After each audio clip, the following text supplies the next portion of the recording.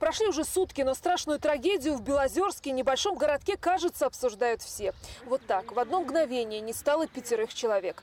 Наталья едва сдерживает слезы и до сих пор не может поверить, что в той машине погибли два близких ей человека – крестница и ее маленькая дочка. Крестница крестила эту э, девочку. Маша в школу ходила. Ира работала здесь, в дискаунтере у нас. Ну, хорошие, молодые, красивые, жизнерадостные. Никто не думал, что так все получится, понимаете? Это все в одну минуту так получилось. Соседи рассказывают, что все из компании бывшие коллеги работали в одном магазине. Собрались на даче, чтобы отметить купалье. Взяли с собой детей. Праздник растянулся на все выходные, и только в воскресенье к обеду стали разъезжаться по домам. Ну, извините, по этой дороге изви- э, скорость разбивать.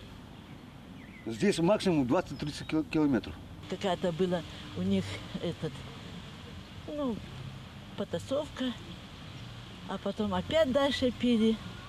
Ну и уже эти женщины захотели домой, вызвали своего знакомого водителя, чтобы он привез их.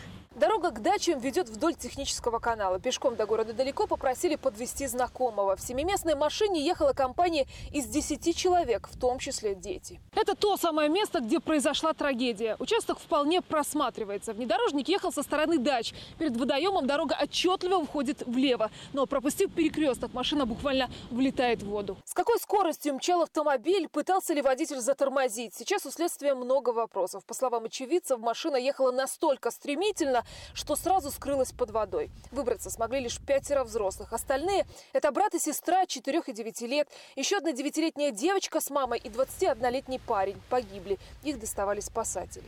Я считаю, что это что-то вообще случилось с человеком. Как можно по прямой улететь в канал? Тут повороты везде проехал. И поехал в канал. Я только шофера этого маму знаю, знала. Она умерла, и нету. Такая хорошая, интеллигентная семья была. А, а он вроде бы какие-то бестолковые, говорят. В числе спасенных водитель автомобиля. Мужчине 31 год. За руль определили эксперты, сел пьяным. И это не впервые. 10 лет назад его уже лишали прав за вождение в нетрезвом виде.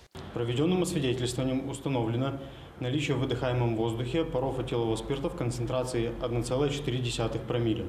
В настоящее время по уголовному делу проводятся неотложные следственные действия. В отношении водителя возбуждено уголовное дело. Понимала ли компания, что садиться в машину к нетрезвому человеку был ли шанс на спасение детей? В обстоятельствах трагедии разбираются следователи. Завтра в главном городском храме по погибшим пройдет служба. На этот же день назначены и похороны. Ирина Никитина, Юрий Титов, Андрей Александров. Наши новости. Брестская область.